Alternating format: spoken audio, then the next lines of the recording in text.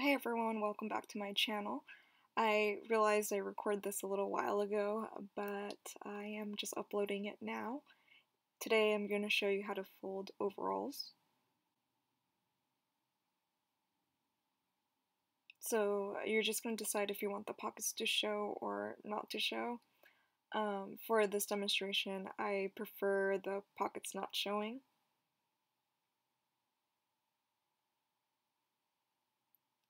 So you're just going to fold it down and put the buckle on. Um, this is if you're not going to hang your clothes, of course, and you want it folded in drawers. And then go ahead and fold it in half, making a long rectangle. Tuck in the crotch.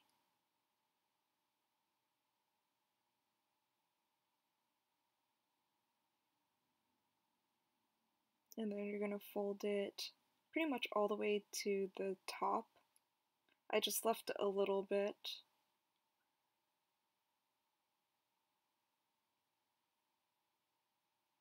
Uh, whatever you decide, just make it uniform. And then I have my template from like the previous videos, but um, that's the size I'm aiming for, so it could fit in the drawers. And this is what you will see the surface area when you open up your drawer and I like to just use the seams as a guide so then it just kind of ensures uniformity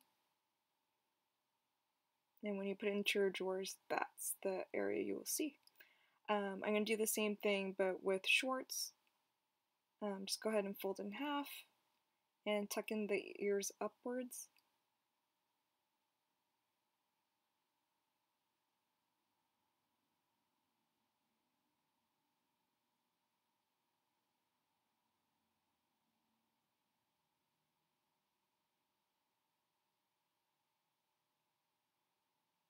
just kind of contain it inside.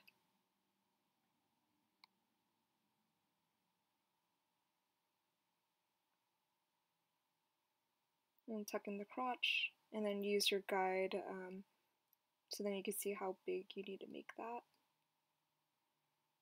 So for this, you just need to fold it in half, and there's the surface area.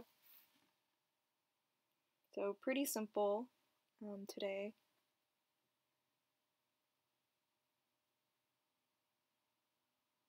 And that is it. Hopefully you enjoyed. A very short one today.